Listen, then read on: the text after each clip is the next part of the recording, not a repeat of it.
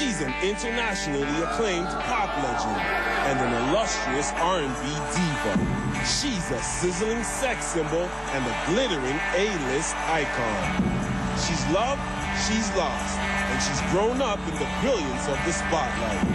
So the question is, how did this talented Long Island native go from Eric High School truant to the blisteringly hot pop music sensation before you today?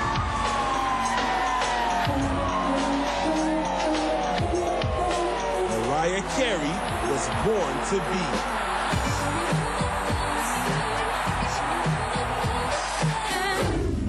My mother always wanted me to be a lawyer. A doctor. An architect like my father. My dad insisted on medical school. I was always expected to be a part of the family business. A bank manager. But I... I, I was born that I was born to be.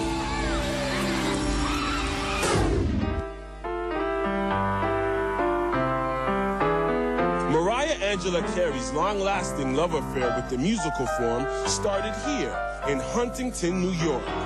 Born to an aeronautical engineer father and an opera singer mother, Mariah's home life was an energizing balance of arts and academics. Those were my first memories of hearing music in the house, and so that was a major influence on, on me. She was always, you know, singing, and she's also a vocal coach, and she spent um, some time with New York City Opera. My mother named me Mariah Carey because she thought it was a great stage name. It showed me that it was, you know, feasible to have a career, you know, as a singer. From an early age, musical prowess. What else could I do? It's in my blood. Taking after her mother, the aspiring musician spent countless hours honing her craft and performing for family. I've been dreaming about being a singer um, you know, since I could talk.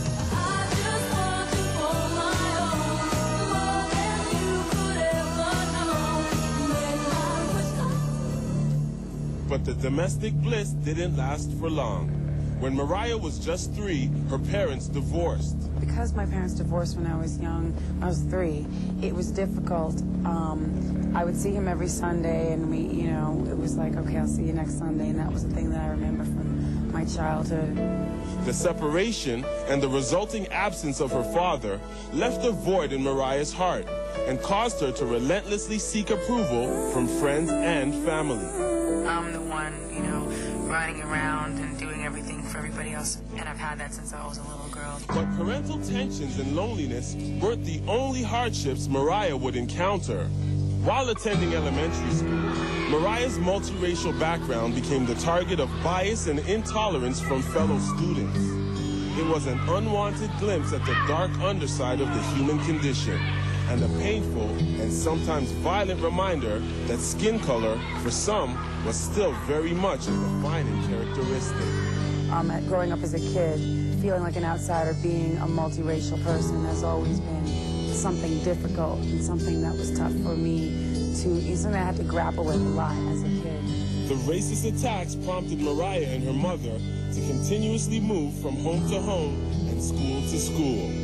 It was a tough and lonely childhood, and Mariah used music to cushion the pain. Music's always been my way of getting through stuff.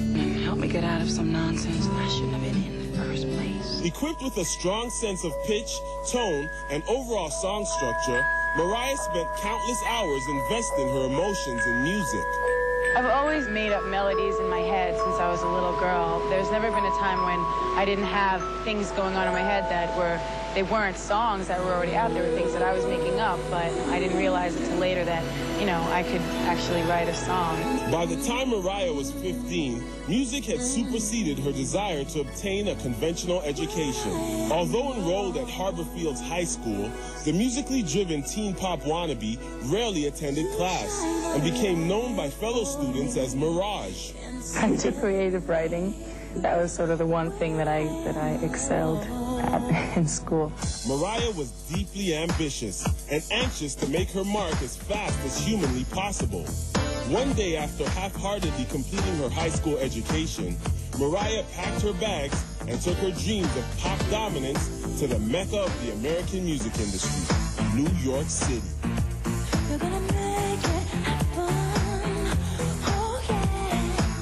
Mariah Carey and New York City were an unstoppable force. I've been planning this since, you know, as long as I can remember. Shortly after arriving, Mariah found herself a kindred musical spirit. My co-writer at the time, Ben Margulies, um, and I, we were sort of struggling to get a record deal, and he had a studio in the back of um, a wood shop. We worked there at night after the wood workers left, and uh, we would write songs and work on demos. Within months, the two had begun writing and performing original material, making small but impressive waves on the New York music scene. If you don't have a high-powered manager, if you don't have, you know, five other labels already into you, it's really not the easiest thing in the world to have someone, you know, spend the time or take the time out of their busy day to listen to your demo. Mariah had parlayed her insatiable drive to achieve into a rapidly evolving career in the arts, and she was doing it on her own terms. People are like, well, you know, you're just a waitress, and you say, well, I'm really a singer, and they're like, yeah, everyone's a singer, sure, you know. Some people, I guess, it could make them quit, but if you, the way I was, it just got me angry and made me want to do it even more. The increased visibility led to bigger and better opportunities.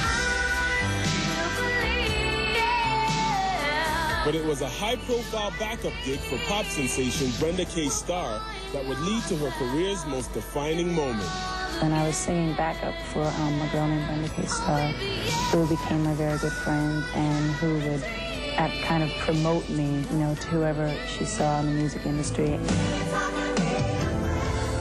While attending a music industry party, Starr passed Mariah's tape to music industry heavyweight and Columbia Records president Tommy Mottola. He actually listened to it and put it on in his um, limo on the way home from the party.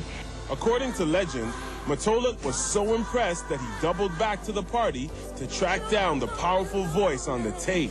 But I was gone, so um, he found me that Monday through her management company, and that was sort of the beginning of the actual, you know, what led me here. Within months, Mariah had scored a record deal with Columbia.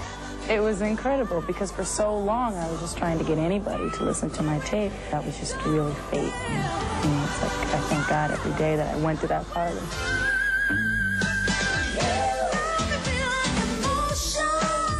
In 1990, Mariah Carey released her debut self-titled album, and to no one's surprise, the public latched on to her sultry voice, sexy aesthetic, and self-assured style. It feels incredible to have this much success off of um, my first single. It's just amazing to know that something that came from inside you has um, touched and reached so many people. I had a vision of love, and it was all that you've given to me. Vision of Love, Love Takes Time, Someday, and I Don't Want to Cry were back-to-back hits and made the album a chart-topping success and helped turn Mariah into an undeniable force in the pop music world. The young woman from Long Island, New York had not only skyrocketed from Lonely Child to massive pop music icon, but had also helped define R&B for a new decade.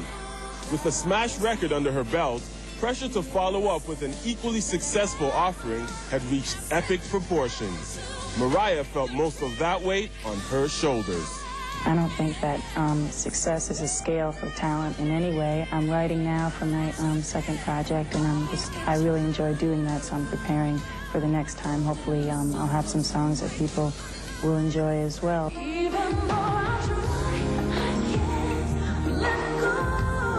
In 1991, Mariah released her sophomore album, Emotions. With her first album's buzz still resonating, Mariah was able to catapult into the stratosphere of other top-notch pop superstars. Because the first year of my career, was like everything happened so fast that I didn't have a chance to really enjoy everything and live through it. It just kind of took me over. So now I'm trying to enjoy everything I do and live it while it's happening.